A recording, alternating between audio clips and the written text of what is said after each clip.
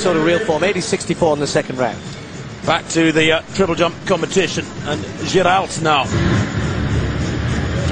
Second round effort. He's already cleared 17.33 to lead the competition.